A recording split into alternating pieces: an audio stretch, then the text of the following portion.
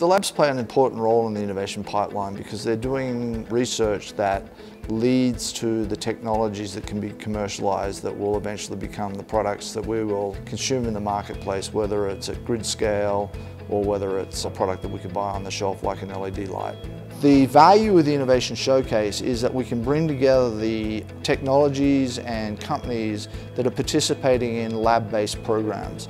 So during this program here in Beaver Creek, we're featuring four different programs. Lab-Corps, we've got SBV, the Small Business Voucher Program. We have our Innovation Incubator IN2, and of course we have Cyclotron Road. One of the cool themes about this event is showcasing all of the interesting and innovative ways that the government is starting to help startup companies, finding alternative ways of supporting them depending on their needs, their stage of technology development. The true impact that we're trying to derive here is for these very nascent companies, whether they're actually companies or still technologies inside a lab, to get some feedback from some really experienced people to help them think about what their path forward should be from nascent technology to a commercialized product to a company that someone can actually invest in. We're really excited to be at the inaugural Innovation Showcase. For us, the ability to get exposure to potential investors, to potential strategic partners, all the things that we need in order to be able to successfully and efficiently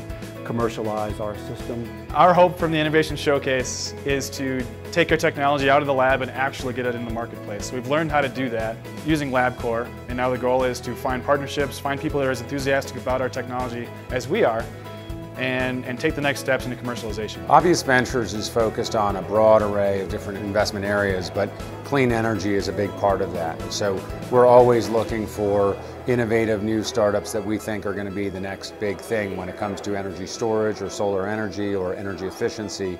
And I think that the showcase is bringing together a lot of those different opportunities for us to evaluate. There's kind of a vibe that things might actually happen. This is a place where you can talk to people who really do things, and that's pretty exciting.